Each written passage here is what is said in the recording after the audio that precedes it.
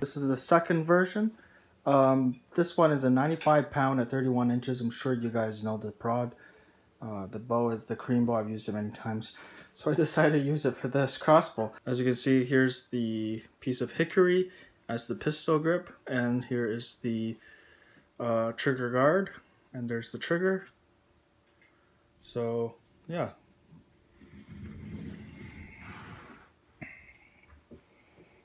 As you can see, crossbow is fairly large um, compared to European crossbows. Uh, the width is pretty long as well. This is not something um, I would enjoy carrying at long campaigns. And that kind of makes sense when the Chinese had campaigns with the Xiongnu. They would have caravans with them, uh, carts with them, so wagons. So they could have used those wagons as forts.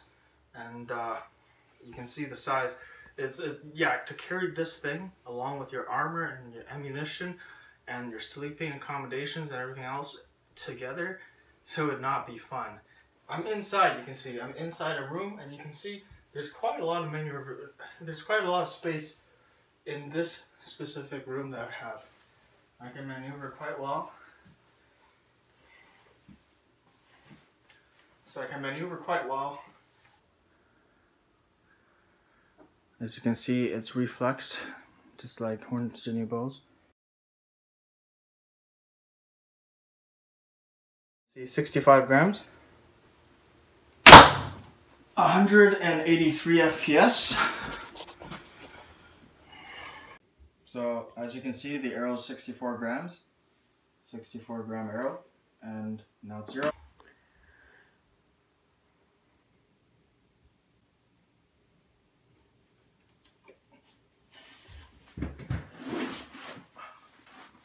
Clear. 175 FPS. 175 FPS. And I remember what this is with a 64 gram arrow. Yeah. The trigger does have some friction here. So the friction of the trigger does, and there's friction here, and the stock could be shaped more. Let's try again. 170, uh, 175 FPS. Here it is, 64 gram arrow.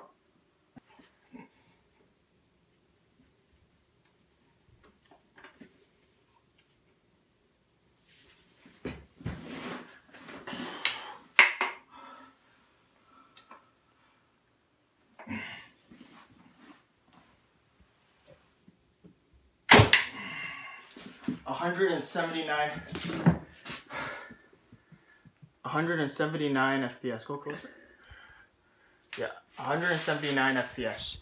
So that's very, very close to my thumb shooting. I tested it twice. I don't think I need to test it. Let's do it one more time. So let's check the draw length. I'm treating the bow like a, I'm treating the crossbow like a bow. So I put the um, ruler right on the bow, not on the crossbow stock. So it's right now at the back of the bow, and Get firm. Okay, now it's firm. See, it's 31 inches. When I shoot by hand, I get 185 to 100 to 200 FPS, basically, depending on how fast my katra how my release is. But with uh, when I don't shoot by hand, I lose about 15 FPS, which is very reasonable considering there's friction here, and I, I could shave this, this stock a little bit more.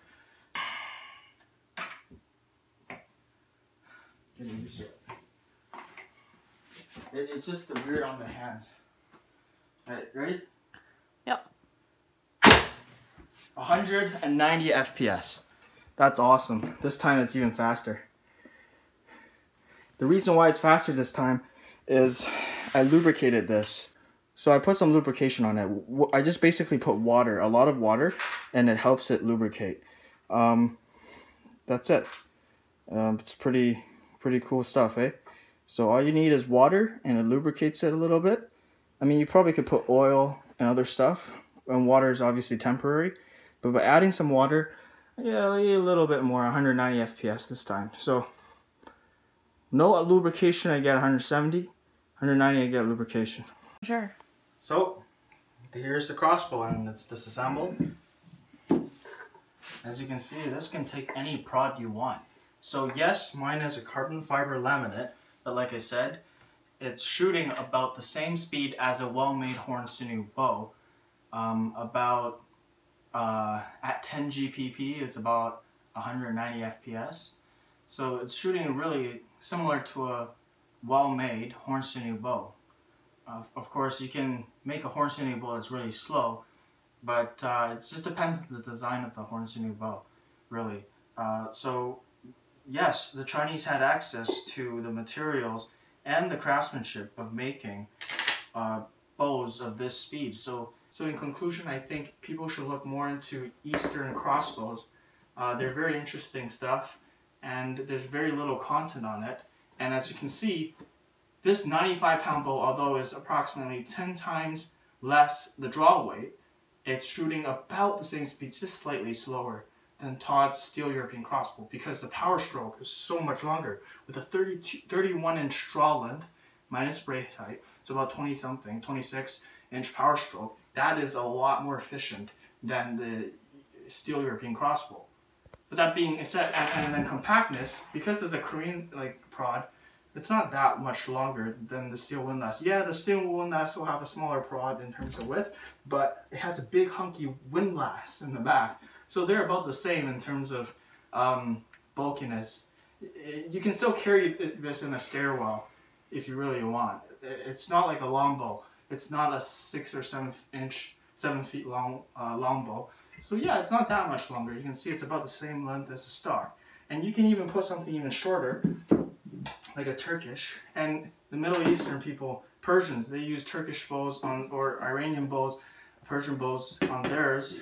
Uh, or you can even use a longbow and put it on if you really, really want. They might have done that back then, I don't know. Uh, so, yes, long draw length power stroke crossbows are about the same efficiency as shooting by hand, but just slightly slower as you can see. If you're pulling a 400 or 300 pound crossbow, you don't need to use one person. Because those crossbow prods are so long, you can just grab two people, help you out, and pull it. You don't need a windlass. Or if you really want, yeah, you can have a windlass or a crank, and it will still shoot. Anyways, thanks for watching.